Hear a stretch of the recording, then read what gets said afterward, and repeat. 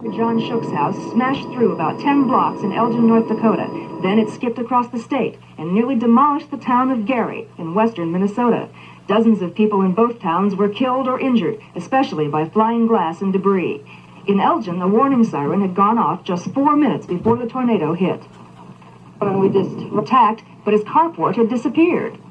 It's just Elgin's water tower, leaving the town without fresh water. Power lines had been blown down too. Most of the town had no electricity. Roads were blocked by fallen trees.